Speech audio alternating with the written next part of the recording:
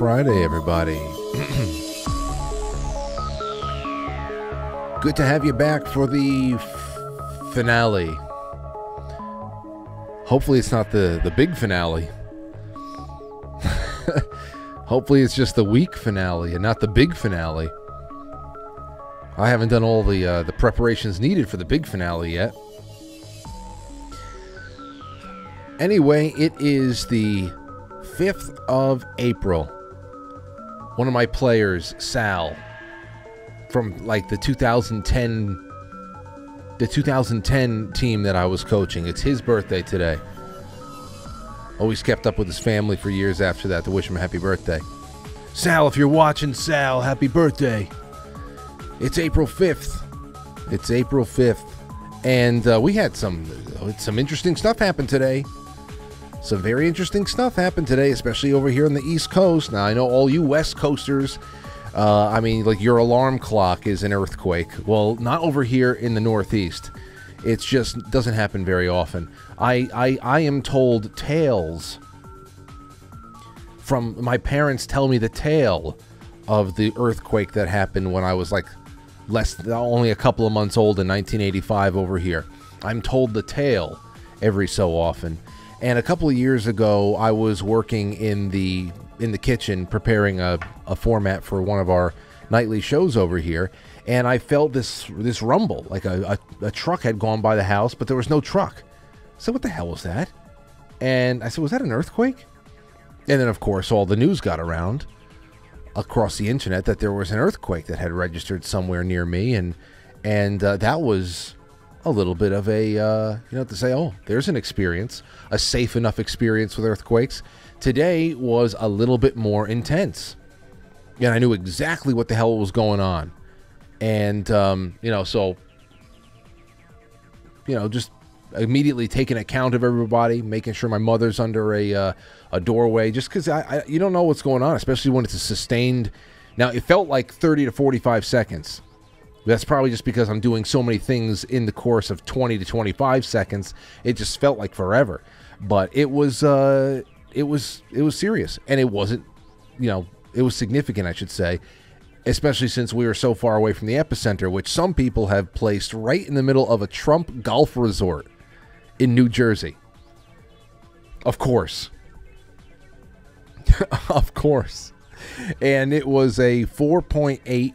Some people are rounding up to 5. Some people say that it's higher. Uh, you know, uh, some geological survey companies or whatever said that it was as high as 5.5, but that the uh, United States Geological Services were, were rounding down or or downplaying it for some reason. 4.8 is pretty interesting. I mean, it is the date of the eclipse, 4 8. Oh, you didn't think about that? We're connecting dots to everything. That's what we do. But um, some people did not. Some people did not feel it.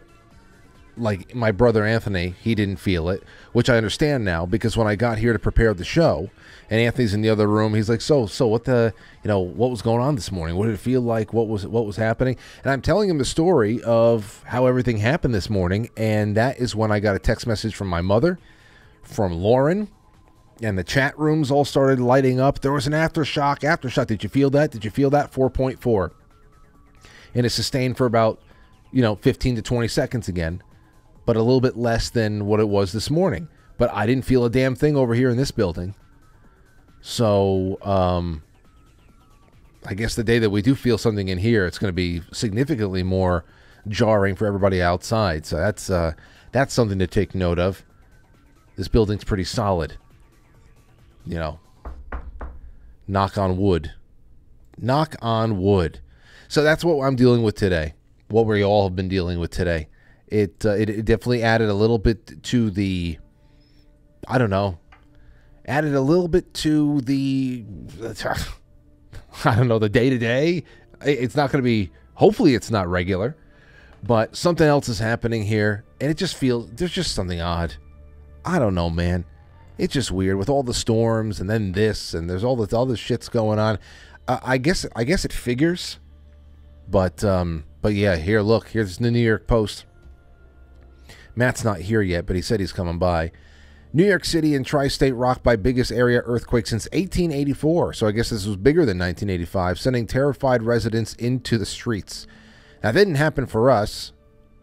Um, but, you know, I was once in South Carolina and saw a flurry shut down everything. Okay. Back in 2008, it was flurrying and people were, you know, doing it's just like it was like pinwheeling all over the place.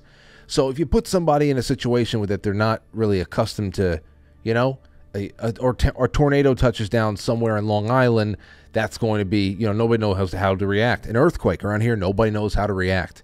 Just like a lot of people in the South don't know how to drive in the snow. That's just the way uh, it works. Although I would take a snowstorm over an earthquake any day of the week the preliminary 4.8 magnitude earthquake struck near Lebanon, New Jersey around 10:23 a.m. and was potentially felt by more than uh, 42 million people according to the US Geological Survey. I know friends of mine and viewers of this show as far out as Rhode Island and beyond. My cousin Sherry, who lives about an hour north of here, she felt it. A lot of our friends in Pennsylvania, of course, Pennsylvania right next door to to Jersey. So there's a lot. I was doing my morning reporting in a safe in my office. That's a ton. Okay, and this uh, this safe in my office that weighs a ton starts shaking. The whole room is shaking. Monica Horton, who works at the Ballman store and Madison Avenue in Manhattan, said I was just freaked out. Scary, real scary. I'm a New Yorker my whole life, 36 years, never seen anything like it. Well, you don't see an earthquake, although I guess you you can't see things shake. But I get it. They can't make this up, says Amuse on Twitter. The epicenter of the New Jersey earthquake was Trump National Golf Club. That's what some people are saying, at least. That makes this a pretty interesting development for those of you who are putting together your esoteric jigsaw puzzle right now. Dutchsinse he was able to take a victory lap, though he, he, you know, aside from the dramatics of leaving the internet every couple of months, um, his work is undeniable. Extremely rare 4.8 to 5.0 earthquake has struck the east coast of the U.S. and New York. This forecast for this week called for a rare M4 plus earthquake to strike from D.C. to New York border with Canada. The forecast is saved in the video from my YouTube channel from two days ago, so he, he hits again. He hits again, but we have been told our whole lives that you cannot predict earthquakes. We've been assured, in fact, that th- that earthquake predictions is bunk. It's just it's fooey. It's uh, it's pseudoscience. You might as well just have a crystal ball. So that's crazy. That really is. Uh, tonight, though, on the show, we've got our good friend Max Ancaporado. I will be addressing him by his his given name, though, tonight. He's, he has a provided me with a bio, and he said that it is okay to use his real name. So this is a very, very big day in our maturation of a program. Very, very big day. So there's uh, we'll be doing that in a little bit. He's going to be coming on. Uh, Max is a um, great friend of the show, and he works in the sciences, especially when it comes to things that are going on in the sky and around the planet. So we're going to be talking a little bit about the the experiments, the rocket experiments that are being fired toward the eclipse to try to get whatever. We're going to talk about all the data that's that that is being sought right now. Um, not going to get too ancient Egypt with it like we did with Ryan Gable. That show speaks for itself. But I wanted to bring on Max and talk a little bit about the moon, the sun, and uh, and everything else, since he is a a wonderful resource for that and many other things. He's a great guy to just to talk to in general, and. Um, and he usually co hosts the Alter podcast with our good buddy Ben, based Heisenberg, and Moonlit Matt, all on YouTube over there. You guys should check them out. They're usually streaming on Thursday nights, uh, right after me. And uh, and if you can't catch them live, you can catch the rerun. So go ahead and do that. All right, that's uh, that's all I have for you right now. Let's start this one off, and we'll we'll you know we'll set the table for Max, and we'll have some fun, and that'll give Matt some time to get over here and settle in too. We will be right back, ladies and gentlemen. Don't go anywhere. Then you can, um, you can rest Come on. Pooh. All right, come on. Come on, Frank. Come on, Frank. Hold on. Hold on, Frank. Hold on. Hold on tight. Oh, come on, that's it. Oh, there he is. There he is. Frank. Frank. Frank.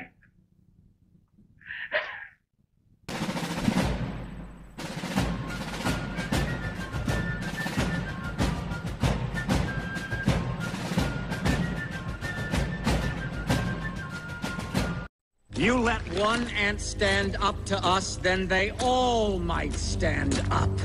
Those puny little ants outnumber us a hundred to one. And if they ever figure that out, there goes our way of life. It's not about food. It's about keeping those ants in line. That's why we're going back. Does anybody else want to stay? Let's ride!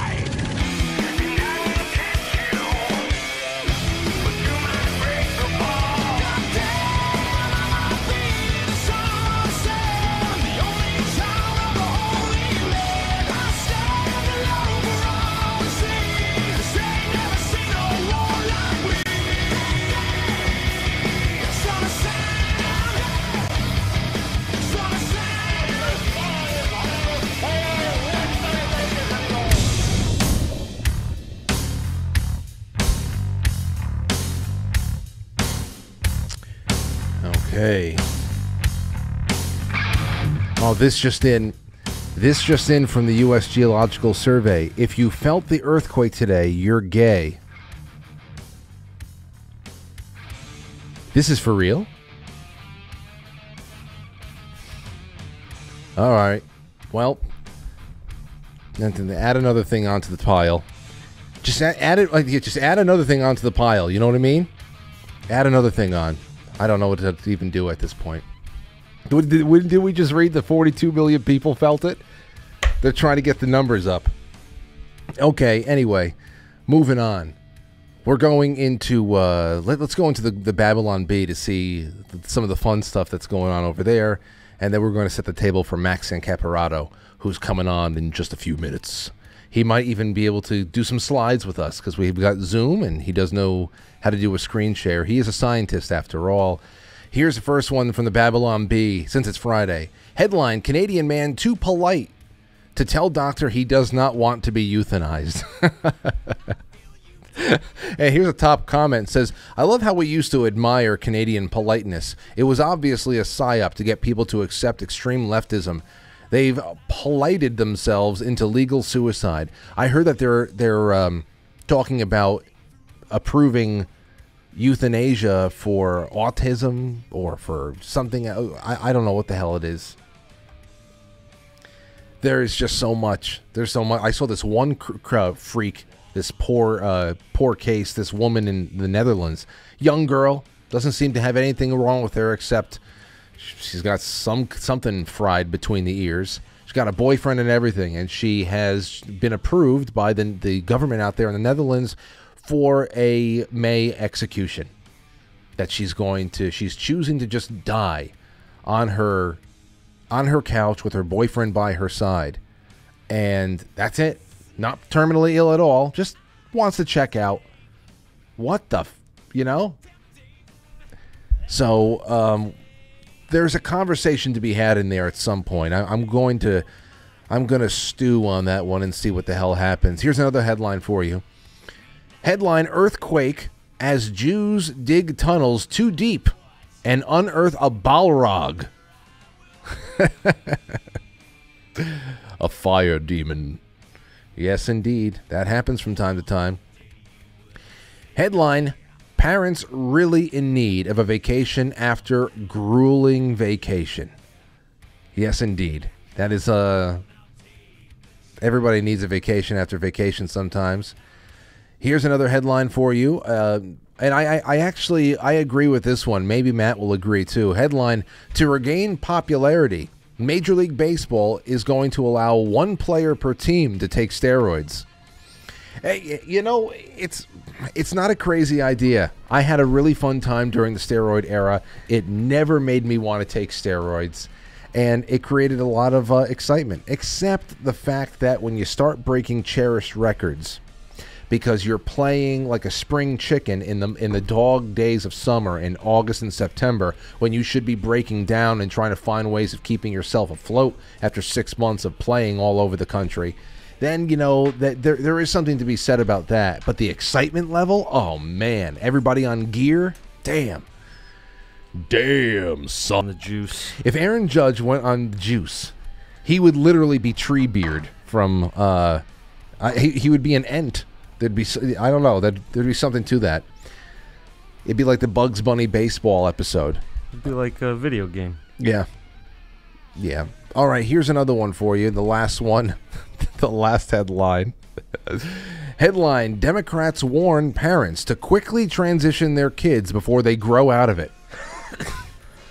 it's essentially what it is. They want to just make sure that people are damaged forever, so that they'll always need the invisible, terrible, poisonous crutch that is liberalism and liberal forms of government.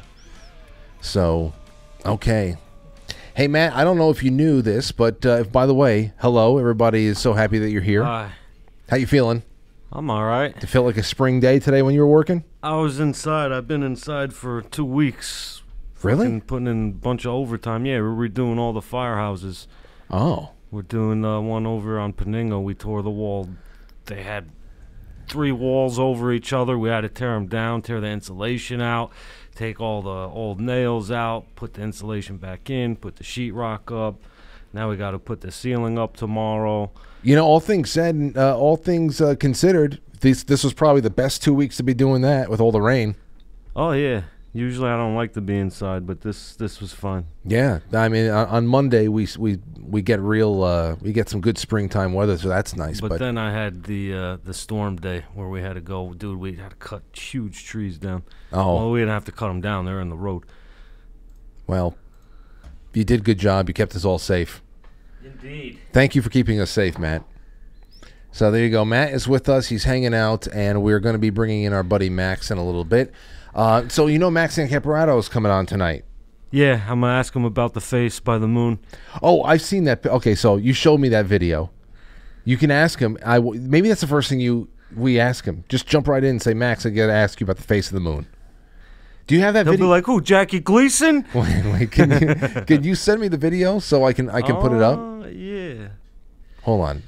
Whoops. If you get, I, I, how can you send it to me? Through text, I guess. Yeah, I'll send it right now. All right. Well, while you do that, because we're going to talk about the NASA rockets, we're going to be talking about those. I want to know where where he's going to be for this eclipse and and what's going on from a scientific standpoint. When you send it to me, I'll just send it to myself an email, I guess, and pull it up because I can screen share with him.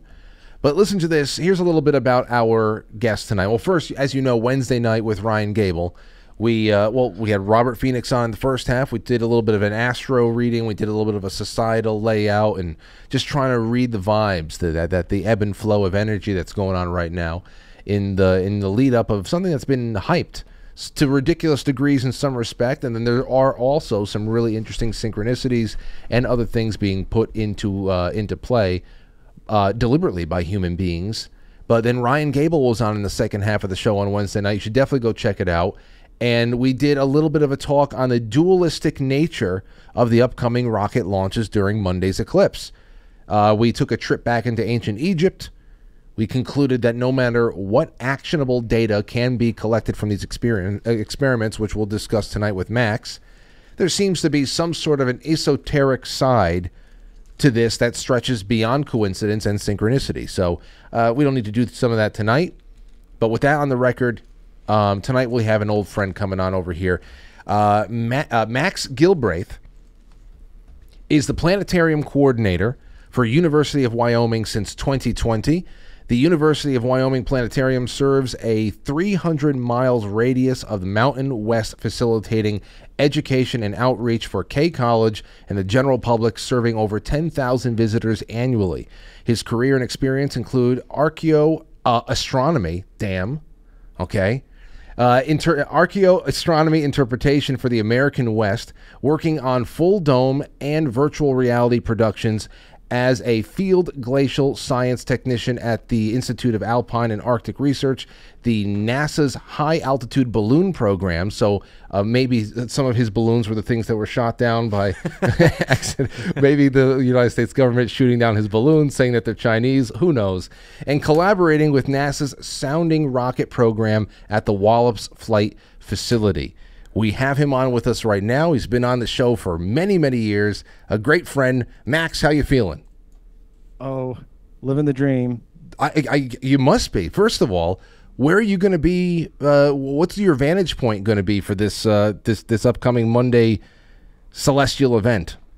I had planned to go down to Dallas, and I had a friend who grew up there, and his family's got like a big backyard and uh, we were just going to camp and chill for the uh, um, weekend and enjoy the eclipse. Um, maybe soak up uh, some water and some sunshine. But the forecast seems to not be participating at the moment. If uh, anybody's looking, wait, wait where, where are you going? Where are you going to be? Is it in totality or no?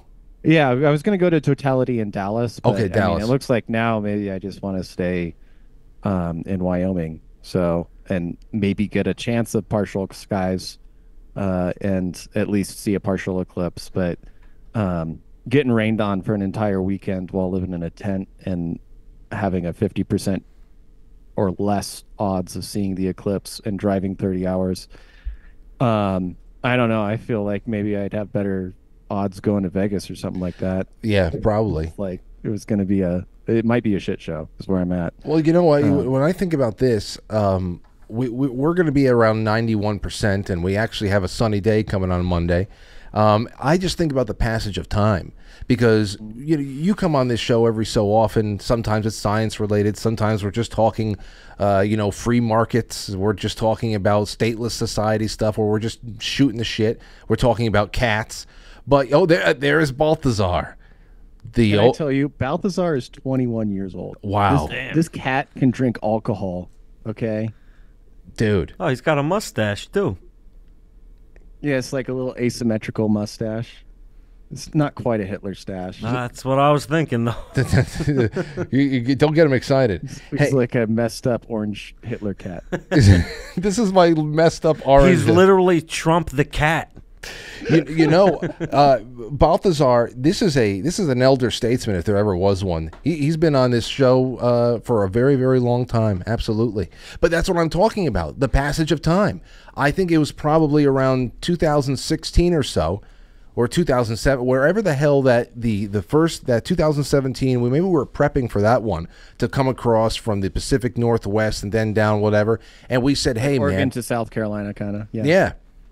And I think back then we made a promise to each other, or we at least a suggestion that we should get a, a you know a Rochester, New York, uh, you know, camping trip for 2024 scheduled years in advance, so we can you know you can almost be like a celestial tour guide for us during this thing. And it, it, it's just crazy how you blink and here we are. It's on Monday, and we're all like six years older. It's crazy. Dude, I feel so bad about it too because it actually looks like it might kind of be clear in upstate New York. Mm. But if you looked at the climate tables, like it was gonna, it should be clear over Mexico, but it's not gonna be. It's just, you know, they could spray the air with the uh, the chemtrails. You imagine that they want to be such a Debbie Downer that they use the chemtrails to just block everybody's vision of it.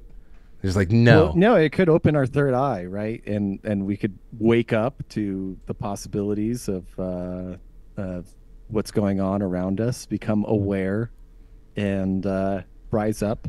I don't know. That's why there's we should so look directly at it. I'm I'm I'm on with you on that one. And listen, there's a, there's quite a few people, uh, Max, who who talk about, hey, you know, they're telling you not to look at this thing because it's you know they don't I'm want. Looking they, at it. They, I'm gonna look at it. I mean, I'm not gonna I'm not gonna lay there with my eyes open for ten minutes and watch it. So I, will take little glances. But I, you know, let me ask you, how are you? You don't have eclipse glasses, man. They're, well, well oh, is that for somebody who's going to be watching the entire thing, obviously you should have some shades on. But has there ever been a mass blinding event in all of human history with with uh, you know eclipses? Like, is it really as dangerous as the television ophthalmologists are saying? Um, I mean it. I I haven't actually seen the stats on how many people injure their eyes during a solar eclipse. um, I'm sure somebody does. I'm sure it happens, um, but I haven't seen the stats on it. I don't know if it, how real it is. Um, that said, like most people intuitively will like look at an eclipse for a minute, or like if if you glance at it, it hurts. Like you're not, you you, you will feel. It is February. Oh, sorry. Hold on, hold on. I'm sorry. Twenty- Go ahead. No, I was just gonna say that. Yeah, you, you even if you glance at it momentarily without protection, you will feel the damage occurring. So most most people aren't have a small amount of self preservation, right? And as long as you're not a Canadian teenager or whatever. Yeah, yeah. You don't want to be you don't you don't want to be uh, barking up the wrong tree there. Uh, here, here's another thing I want to do for you. I want to uh, show you before we get into the actual science here. And, uh, and and knowing what you know about the rocket launches that are going to be occurring on Monday, if you contributed anything to it, well, the, the, what data is going to be collected, stuff like that. Matt sent this over to me. Matt, do you want to preface this? Um, do you want to preface this? This Yeah, a bunch of people are, are all over the world are seeing this face next to the moon, and I think it's the face of God because he's angry. Okay. Oh, Have you seen here? Look, a face by the moon. They said this is February of this year. Matt showed it to me Uh, on my. this is this is Chinese propaganda. It's coming off TikTok. Fuck. Hold on. Look, Matt showed this to me on my birthday. Okay. I want. I want to. I want to see what you think. Now, it's very ominous. Very ominous. There he is. There he is. There he is.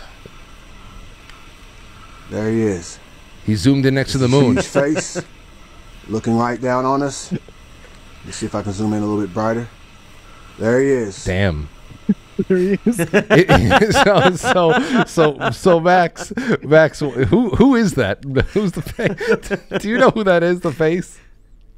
I am Azusu. Oh man, I don't know. It could. Some poltergeist demon. I, I who knows? Yeah. I don't know. It does. It looks like uh, Vin Diesel. It's, it's God looking at us with disgust. Vin Diesel in utero with like his his complete uh, chiseled jawline still intact. I know. it's like it's like uh, Chronicles of Riddick Vin Diesel. All right, uh, so let's get, get let's get down to this, and I'm sure we'll find other things to, to talk about along the way too. I saw this on SciTech Daily. Shadow Hunters, NASA rockets to dive deep into eclipse phenomenon. So instead of going into this and reading it line by line, let's talk to you. Wh- What do you know about this uh, this launch? Are you involved with it uh, at all? Because I know you have some NASA credentials over here. Well, so yeah, I, I should say I don't work directly with NASA, but we I, I have contributed to um, like built uh, and launched uh, instruments on one of these Wallops sounding rockets. So actually, if I screen share, maybe Oh. I can show some pictures of that. Can you can you do the screen share yourself, or do I have to get, make you yeah, host? let me. Uh, I just want to make sure I have like some stuff ready for it. Um. Okay. I think I have a picture up. Oh, okay. It says it disabled participant screen sharing. Okay, let me do multiple participants can share simultaneously. Share. Uh, no. Hold on. Maybe make. Let me make you the host. Oh, I'll okay. just I'll just make you the host, and that will hold on. Oh, Shit. host of hosts. There you go. All right, you are now the host, so you can probably do whatever the hell you want. I'm gonna cancel the whole podcast. Cancel the whole podcast. I'm leaving. I thought he was gonna say I'm gonna come. I'm gonna get. All right, sorry. Uh, so we've got. Um, so this is the launch area from Wallops. So this is actually an i- a sandbar island off of the coast of um, Virginia. So it, it's the little like section of Virginia that is the southern tip of like that peninsula that comes down from Delaware and stuff like that. Uh huh. And um, so this is the launch uh, pad over here. Can you see my mouse? I can. Yes. It- it- I, I gotta say, the Earth looks pretty flat from this standpoint, Max. yeah.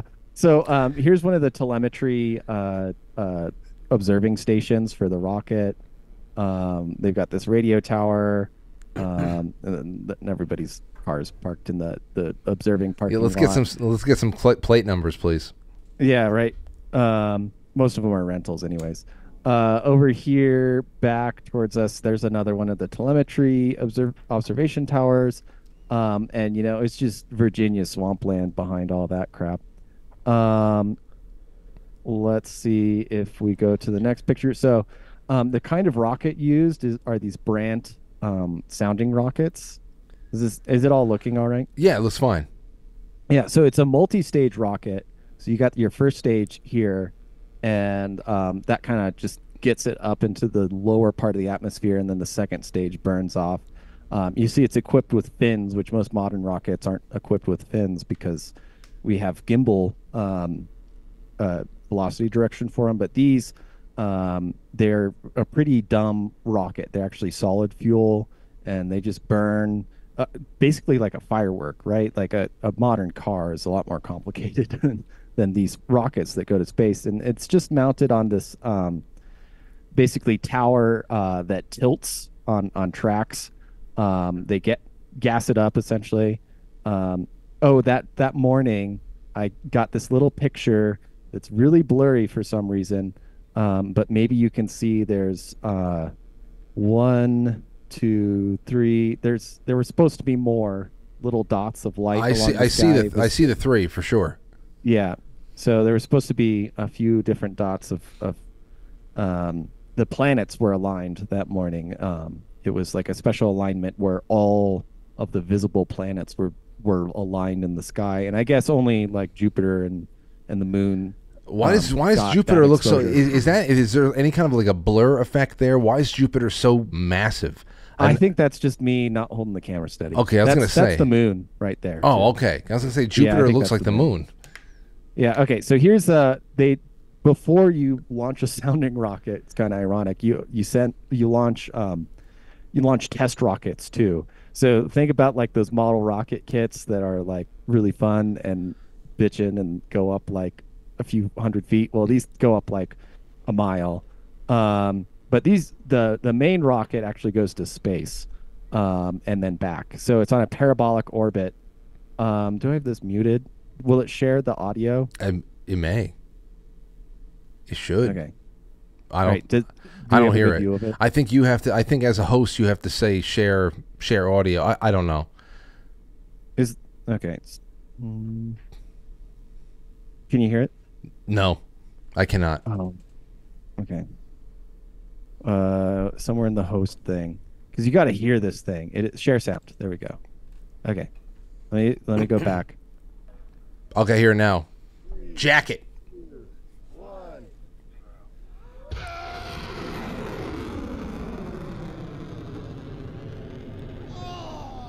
That's sick. That does sound sick.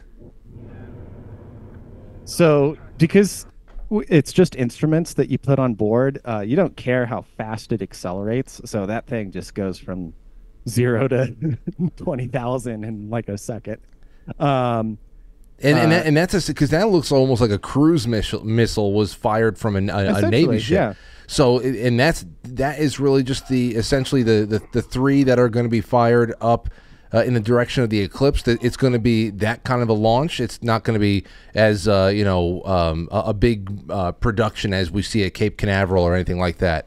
No, these yeah, these are just sounding rockets. Now, um, the nice thing for them is that the payloads have gotten so much more complicated than the 70s. Back in the 70s, they did the same thing when the eclipse was passing over um, the U.S. and uh, they launched something like 30 rockets throughout the day to sounding with with uh, so a sounding rocket. It's kind of like a weather balloon almost, um, except it's got some extra stuff. Especially these payloads. We wanted to measure um, the electromagnetic influence of the sun, the solar eclipse on the upper atmosphere, because you're filtering out all this light that we normally get, and you're only getting exposed to the solar corona.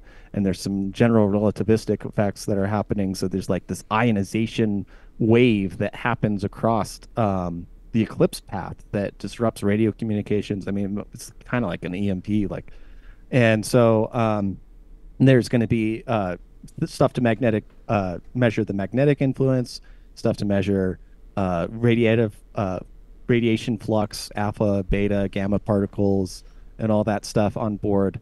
Um, that's a little bit more what they're interested in um, as far as uh, how the uh, mission is concerned. So That's what I was thing to look wondering. I think that's what a lot of people were wondering because you know we're, we're, we've gone into uh, we've gone into other areas of uh, of uh, e- examining the timing and all this, but I know that aside from our theories and aside from all of our our our deeper occult interests, there is some actionable data that's going to be gleaned from all this stuff. So I I, I want to know what exactly it is so it's it's really just a matter of how how the atmosphere is going to be is impacted at a time. Is it specifically about communication disruption, or or or is there something else there too?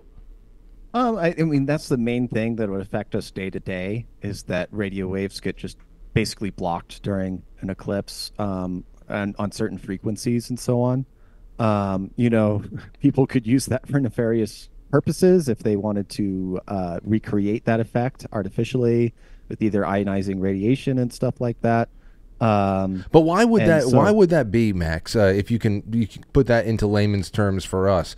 If it, it's not like uh, you know we're bouncing, are we bouncing frequencies off the moon? Or I mean, you're talking about the moon getting in between the sun and the Earth. You, you, would think that any kind of radio frequencies that are being generated and passed you know, w- uh, across our planet um, is going to be safe from any kind of interference of two other celestial objects that are so far away from us. So, why would two objects on the outside of our atmosphere uh, do that? I mean, what what what is it? Uh, what does the overlap do to to to I don't know potentially screw up the way that we we talk to each other on a CB radio?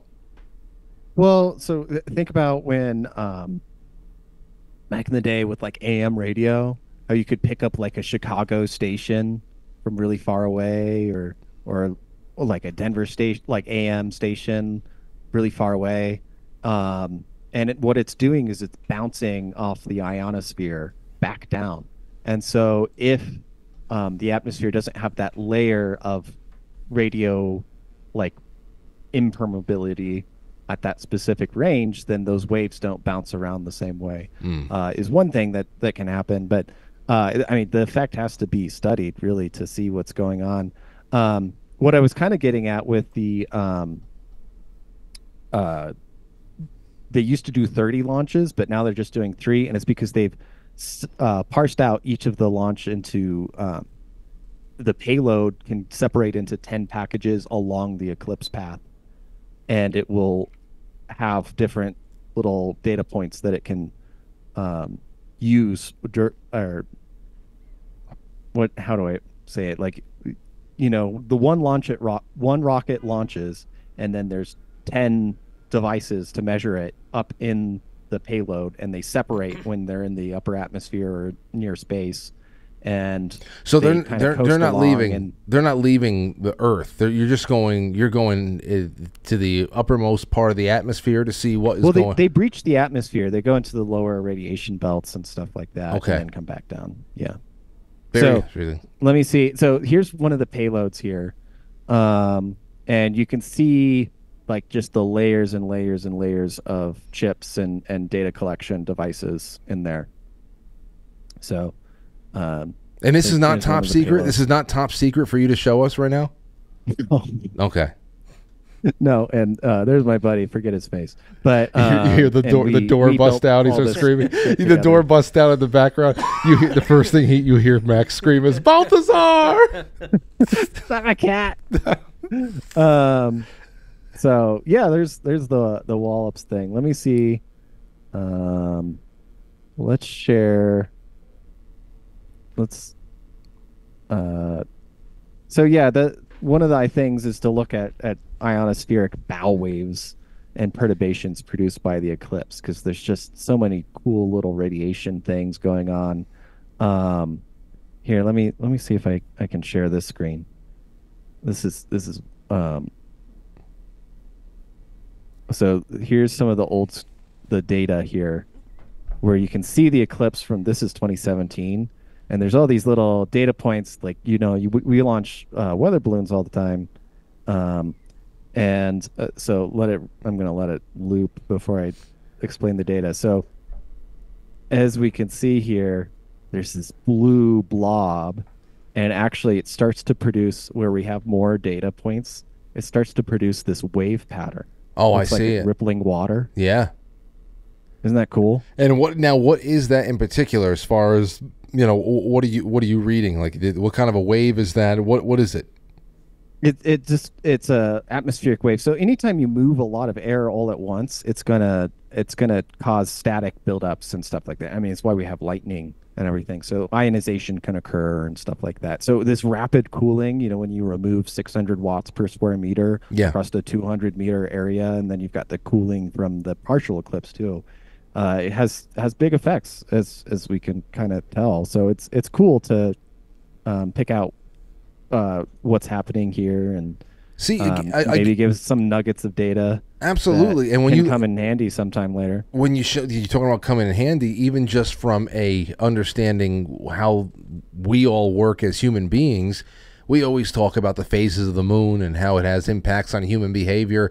I mean, this is a little bit more of a special event when you talk about an eclipse, but ju- just in general, these are these are objects that are that are closely married to our planet and are always passing over us.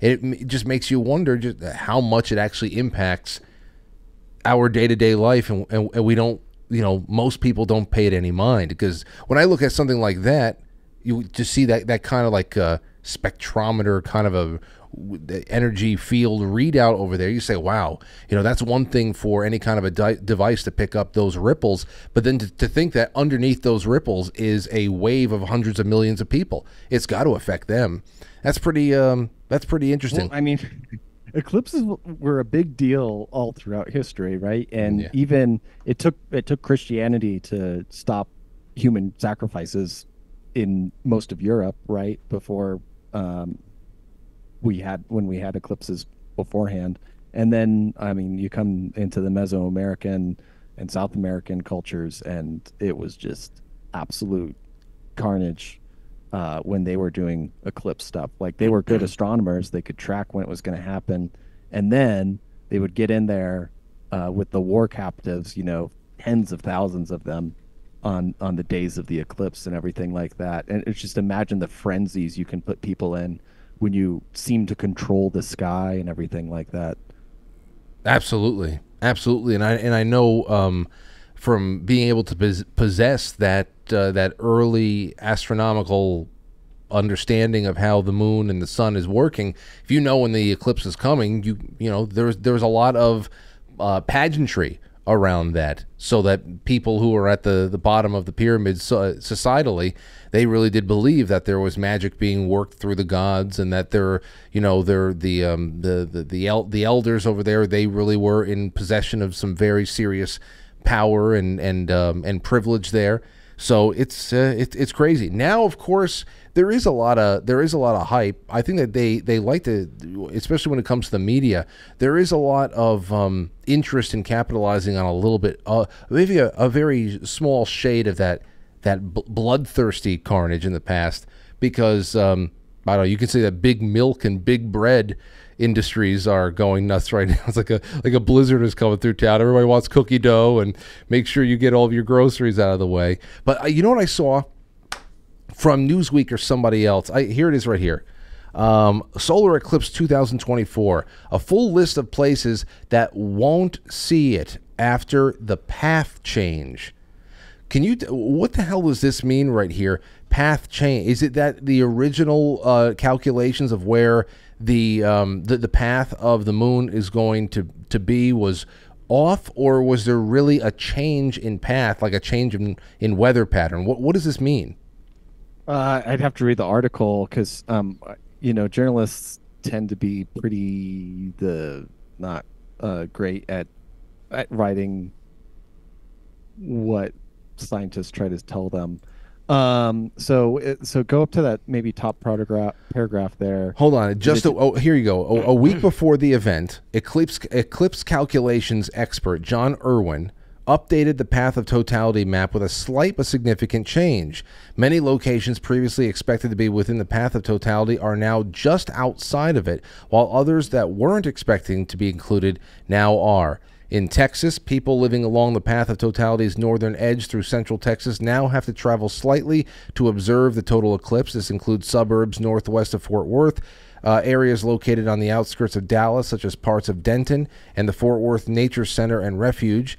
The southern path expands near San Antonio, uh, Austin, but also, but shortly after that, it begins to narrow again throughout the rest of the U.S. So, I mean, as far as this year, the event is expected to draw large crowds.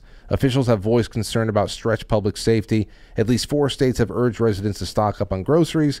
And then it just goes in. It just says this a week before the event, calculations were I updated. mean, yeah, the calculations we we have the models. We know the eclipse is going to happen, but like calculating it down to the mile by mile, what's going to be in shadow versus not complete shadow Mhm. is is something you. I mean, as the moon gets a little bit closer, like you can refine that data just a little bit. I mean, it's best to be towards the center of totality and um, get the longest totality, but uh, if you are near the edges that uh, you know the calculations there's there's some rounding errors and stuff like that. And yeah i could i could see it varying by a mile or two um, as you go across the earth's surface. It's going to be um, you know that's that's an error of less of one one percent less than half a percent really Mm. um, when you're doing your initial calculation. It's just you can't refine it down all the way to like the foot until you're like literally there almost so So when when you um on on, uh, on Monday when these launches happen, I forgot what you said before. Are you going to be at the launch site, or are you going to have some kind of remote remote uh, way of watching the the uh, the launch? Well, I'm sure. Yeah, you should be able to watch like live streams of, of the launches and stuff like that. It's just uh, so no, I didn't build any of the uh, data set collectors or the instruments or anything like that on these these launches that are happening now. The the launches I did were about two years ago. okay. um, and we were we were doing atmospheric soundings up into the lower radiation belts and stuff like that, measuring. Um, I mean, you you want to do these sounding uh, missions on a regular basis, and actually they do them ahead of like human flight launches, so that they can see what the environment is um, for uh, the astronauts who are going up too. So make make sure it's a little bit safe. Um, but yeah, just getting regular data on a on an interval. These are really cheap rockets to run. Um, so because you know we, we don't care if they blow up or anything like that, and there's no humans on board. So it's it's it's really nice to just get atmospheric data transmitted back to us or picked it up um, in a black box after the fact, where we we know what the structure of the atmosphere from the surface of, from sea level all the way up to um, above the exosphere is on Earth, and then um, that helps our climate models, our weather weather data, everything like that. Um, helps makes other rocket launches safer um, for people who are launching. Um, so Okay, and, and as far as the payload goes, um, I the, the because of course all I have to try to envision all this stuff is movies. I'm thinking about the movie Twister, and then trying to put the uh, the Dorothy, the Dorothy module in front of the the the F5 tornado, and then of course as soon as that uh, that that thing gets sucked up, they have all of their computers just light up like a Christmas tree, and they see all the readings from inside the tornado swirling around. Um, are all of the readings that you uh, that that people in your field who are actually going to have their hands on with this stuff is that going to be immediately received data, or is this something that's going to be uh, collected over a period of you know days or weeks? Um, so uh, the missions themselves, uh, we did, and typically for this kind of rocket, last like a couple hours. And so they get up into the atmosphere, uh, they get into lower space, and then um, they come back to Earth. They splash down somewhere in the ocean, and they go pick it up. And then, you know, th- they're really simple. Like I said, simpler than a car is really, where the batteries just flick on during launch and start logging the data and you pick it up and you just download the data and you know what launch time was, and so you just build it back from there. That you know um, what the altitude. I mean, you you have barometric pressure to determine altitude, and then you also have uh, velocity um, sensors. Uh, kind of, they're like gyroscopes, basically, where you can sense momentum changes and everything like that. See how fast it's spinning and um, what the gravitational force is and everything like that. Because there's microgravity that you can detect over this kind of scale, right? When you go 200 miles vertically up. Um, yeah, so they're they typically will just gather the data after the fact, and then they will compile it all together and you know write whatever they're going to write about it. But they're not going to. Um, typically, it, transmitting live data back is a very expensive proposition that you only want to do on a mission that isn't a return mission. Yeah. Um, and a sounding rocket is cheap because it's not a or it is a return mission. It's it's just going out of the atmosphere and back. So Um, let me ask you this: it's a little bit off topic, but you know, I, I think I've asked everything I need to know about the, the the eclipse thing. Now we just have to see the whole day do its thing, and then maybe there's some follow up questions afterwards. What do you think about the topic of um, polar flips? Not just magnetic poles, but I'm talking about physical physical um, changes in the Earth's position where we're talking about 90 degree flips. We, we had we had a conversation about a, a month or two two months ago or so with Ben Davidson of Suspicious Observers, and he is convinced that over the next 15 to 20 years we are going to see cataclysmic changes in the Earth's you know rotation and how it's uh, you know the North Pole is essentially going to be the equator and that all of the earthquakes, uh, a lot of the migrational disruption of of uh, birds and fish and everything is about something that is imminent and unavoidable. Uh, what, what do you what do you think about this? Because I'm I'm sure you've had to contend with the the prospect somewhere along the line.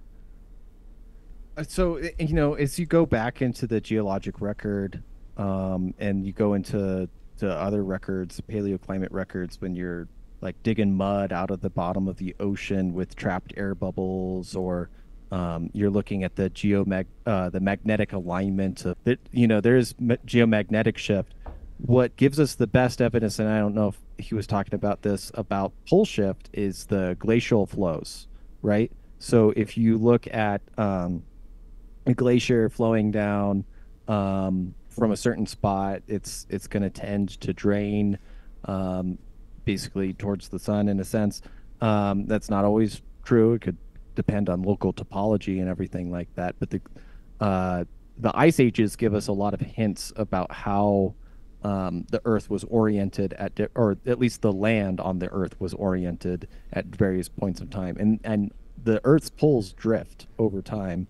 Um, there there is some chatter about dramatic and rapid uh, pole drift. That's I'm not, and like you said, I'm I'm no, I'm not talking about magnetic pole drift. I'm talking about the idea that the Earth could suddenly change its moment, and we would have, uh, you know, moment being the operative part of momentum, where we have a, a different orientation.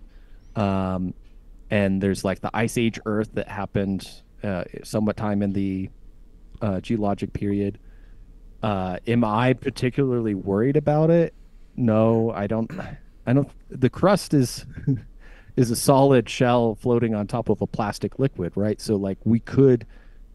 Um, one of the ideas I've heard, and this is from a legit geology professor, is that the Earth gets top heavy from time to time, right? Like if all of look at look at a map of the globe, and sorry, flat earthers, if you're thinking about pole shift. Uh, I don't know what you're thinking about, but if you look at a map of the Earth and um, you know North America, Europe, Asia, uh, most of Africa is all in the northern hemisphere, and we've got an ice cap up there.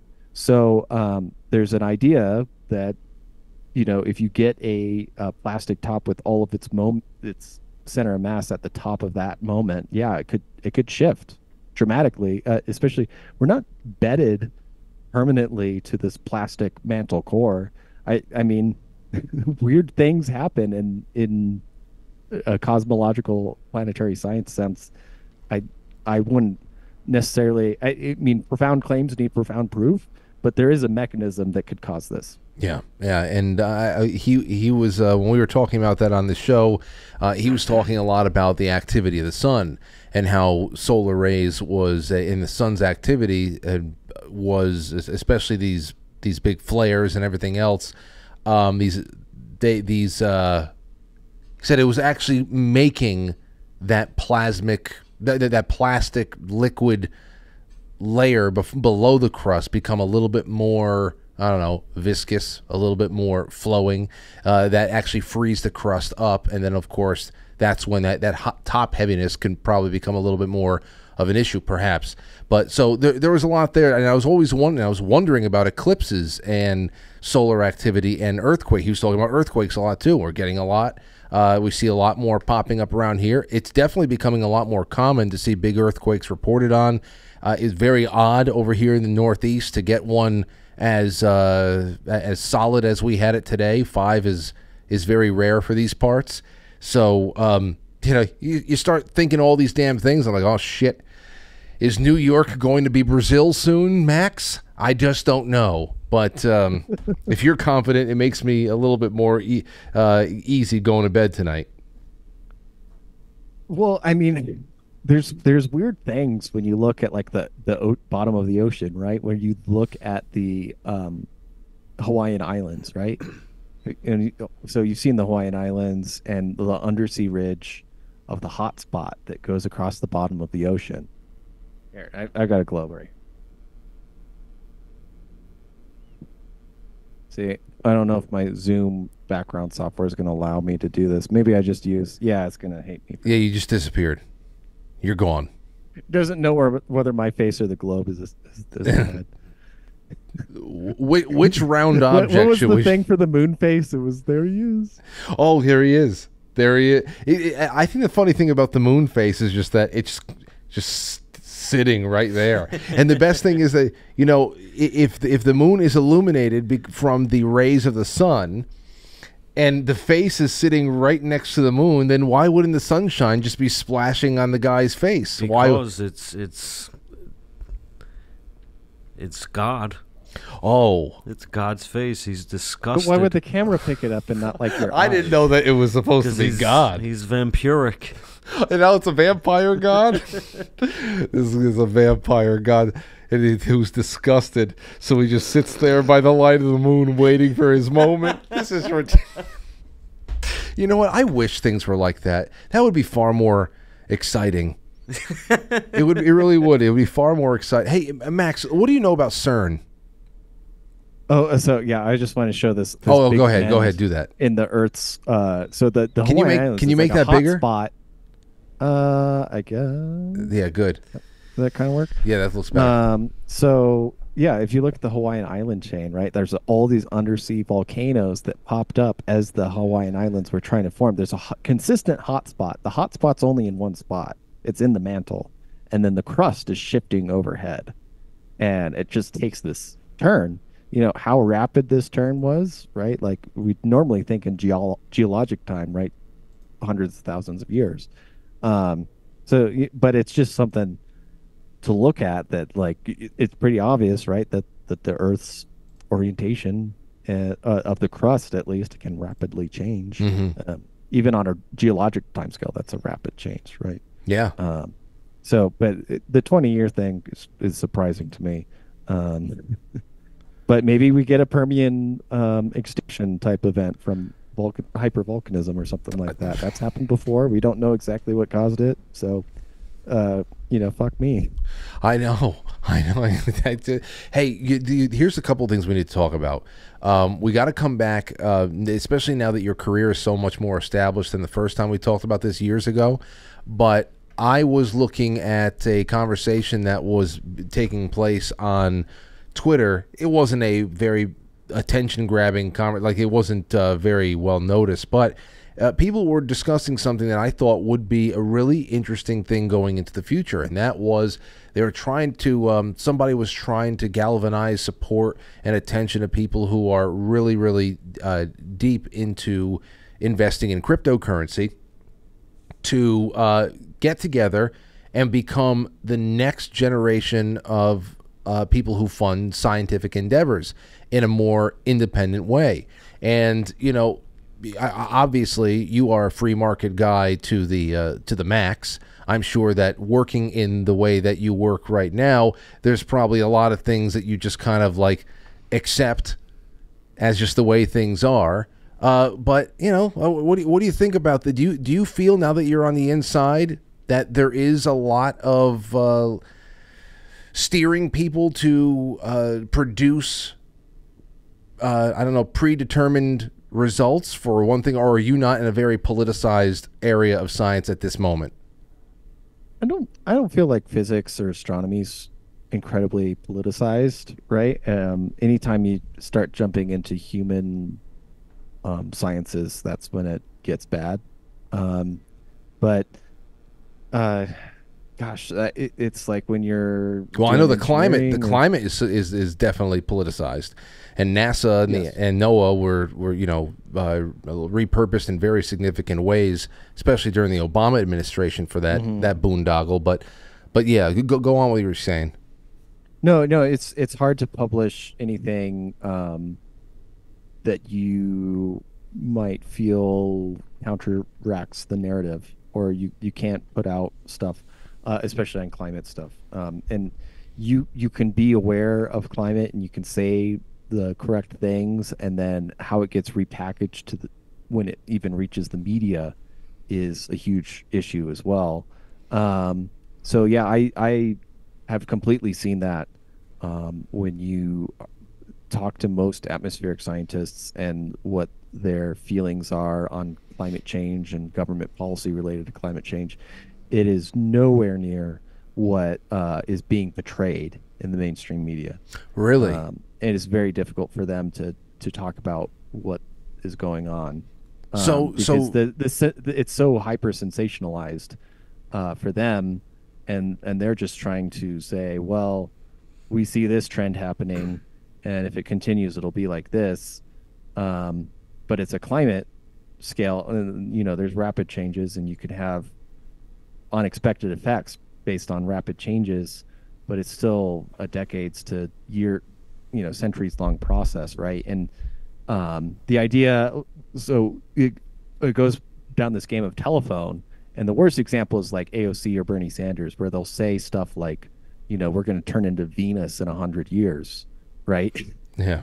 and that that's a literal quote from them um, that you know our grandchildren are going to be living on Venus, and uh, that's just not the case, right? Like all the carbon that's in the Earth's surface right now that we're extracting as fossil fuels used to be in the atmosphere also during the Carboniferous period, uh, and it, it it was just a different climate than what we, we had today, where you know there were ferns growing on the poles of the Earth, and we you know I it, maybe we're talking about the rapid Earth shift change again, but like you know going from a conventional scientific perspective, yeah, there's the Antarctica region used to be kind of tropical, right? I bet there's a bunch of dinosaur bones underneath the ice right now.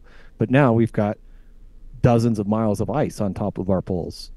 And, uh, you know, this is a thing that's happened, and we're extracting that carbon, putting it in the atmosphere, it warms it. Um, so, yeah, put me in that 97% of scientists that says, you know, humans are extracting carbon and contributing to global warming. But, you know, am I concerned that we might have a carbon level that's consonant with what was 60,000 years ago. I mean, how fast is evolution? How fast is um, all of these different natural processes?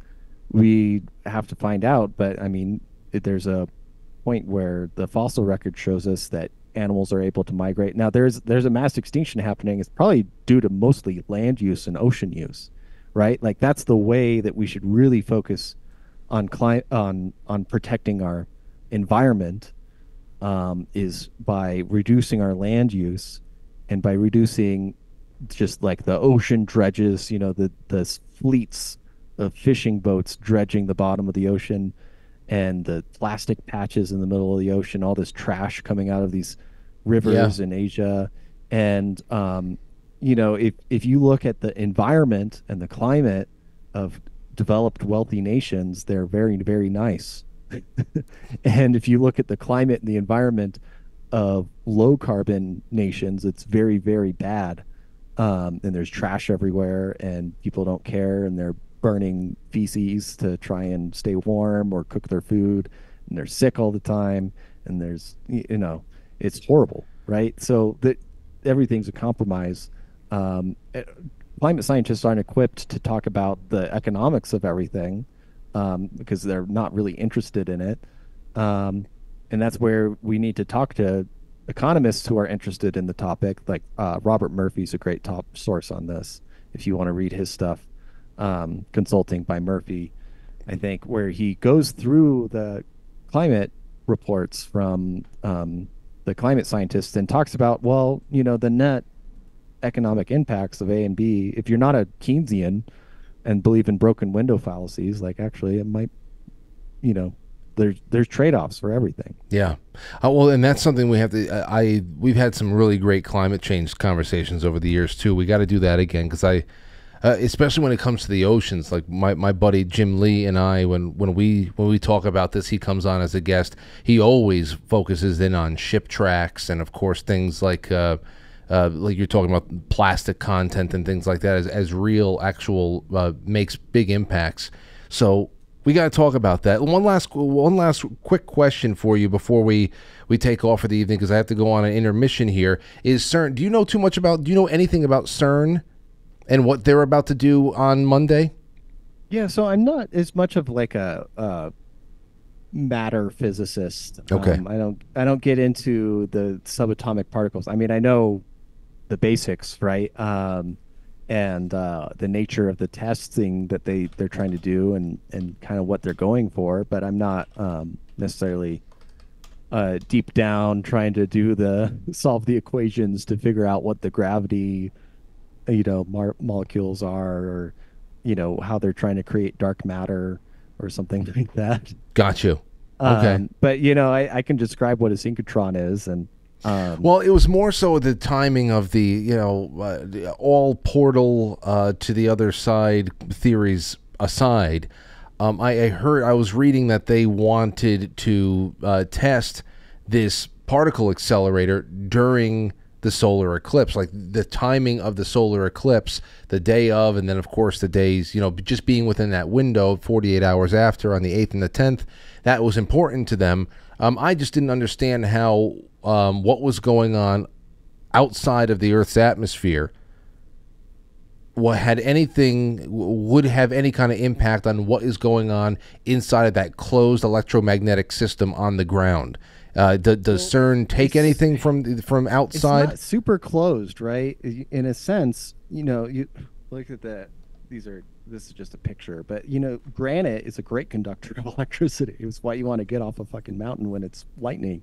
Um, and so even under the Swiss mountains, um, you can conduct electricity and feel uh, EM fields and magnetospheres. So during an eclipse, if you're blocking out the main flux of the sun, uh, that that's something worthwhile, you know, to just check out, like what happens, right? Right. Um, if if we're receiving less solar flux, like how does that same experiment we did um, occur, right? Because the electromagnetic waves they, they can um, conduct through planetary surfaces and they can get redirected by them and they can get stored and charged into them and they can discharge from them. So there's there's I think a lot of cool experiments to be done.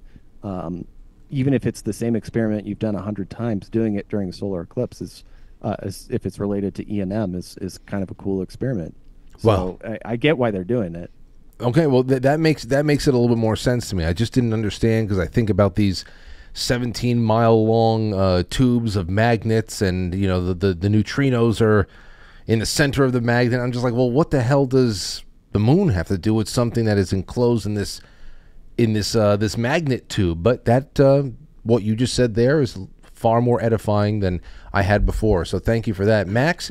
uh, you've got a lot going on, but you don't really have a very public brand that you are uh, you're promoting do you is, is there any kind of a blog or is there any kind of a web anything that you want to promote uh, the Alter podcast or do you want to just say hey i'll see you next time tell everybody goodbye in any, any way that you find appropriate Um, it's it's great to chat with everyone. Uh, I, I love seeing um, the chat and uh, hope that you all can check out uh, the altar sometime. If you're interested in Frank's media, you'll probably enjoy that as well. Um, but uh, you know, if you're in Wyoming, ever uh, think about um, coming and uh, enjoying our vicious, our spacious mountainscapes and everything like that. Think of me, but also just stay free. Taxation's theft. That's it. Stay free. Taxation is theft. And if you're ever in Wyoming, look Max up. Thanks a lot, buddy. Cheers. All right, take care. There you go, ladies and gentlemen. All right, it's me. It's Matt. Matt, what'd you think about that? This is very interesting shit, bro. But I still think that that face is God. I know, I know, and I know that that was real. That was really you really wanted to get some clarity on that tonight. I know you did, but um, who knows? It could be God. Here's what we'll do: we're gonna go on a break. When we come back, we're gonna look at the video again, and we're gonna take calls from people, and uh, and we'll just see we'll just see how we're, everybody's doing on Earthquake Day today. And did you feel it today as you were doing your thing? No, I didn't feel anything. I never feel these earthquakes. Well, we don't get them really. The ones that we have gotten, maybe we'll start getting mo- more because we do have the biggest fault line on our uh, side. The New Madrid runs through us. Oh yeah. Okay. All right, ladies and gentlemen, listen, Matt is here. Frank is here. We're hanging out for another nearly an hour. So join us over on quitefrankly.tv, on pilled.net. All those links are out there for you guys to easily click and follow us over. The fun does not have to end. Um, yes, this show in its entirety is archived across BitChute and Rokfin and um, Rumble and so many places that host podcasts, but there's nothing like live. And it's the end of the week. We're not going to see each other until Monday. So uh, come on over. Let's have a good time. And I will see you in just a moment. No! Please! The rest of the show is available exclusively at pilled.net. Follow the link in the description of the episode, get signed up, it's that easy. Or head on over to quitefrankly.tv, just press play. No paywalls, no censorship, no strings attached. So head on over, quitefrankly.tv, powered by Foxhole, and pilled.net.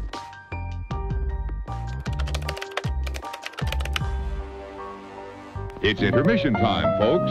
Time out to press the like button. Thank you. Ladies and gentlemen. Welcome to intermission. We'll be right back.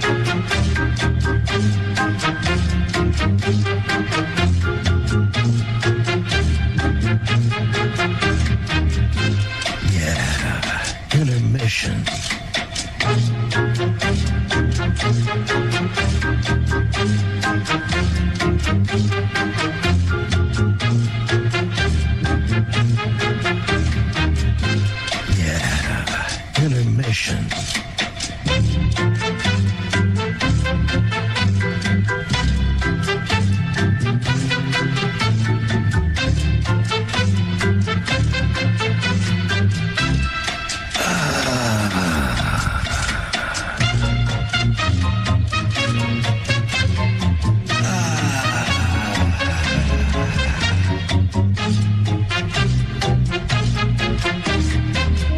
Now entering, quite frankly. Quite frankly. Quite frankly. Quite frankly. Quite frankly. Quite frankly. Watch, quite frankly, and stuff. Quite frankly. Quite frankly.